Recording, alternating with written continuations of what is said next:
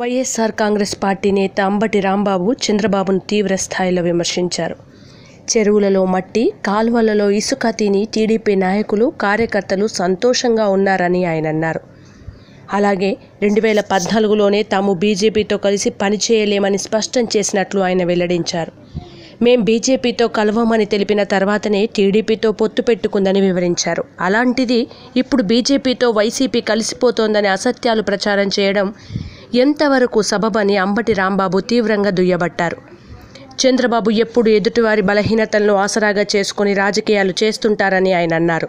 దివాకర్ రెడ్డి వంటి విలువలు లేని నాయకులు టీడీపీలో ఉన్నారని వచ్చే మహానాడుకు టీడీపీ అధికారంలో ఉండదని ఆయన అన్నారు. చంద్రబాబు తన రాజకీయ అనుభవాన్ని దాచుకోవడానికి దోచుకోవడానికే ఉపయోగిస్తున్నారని అంబటి రాంబాబు తీవ్రంగా విమర్శించారు. ఈ వీడియో మీకు నచ్చినట్లయితే లైక్ చేయండి షేర్ చేయండి కమెంట్ చేయండి. మరిన్ని ఇంట్రెస్టింగ్ అప్డేట్స్ కోసం మా ఛానల్ని సబ్స్క్రైబ్ చేసుకోండి. పక్కనే ఉన్న బెల్ సింబల్ని ప్రెస్ చేయడం మాత్రం మర్చిపోకండి.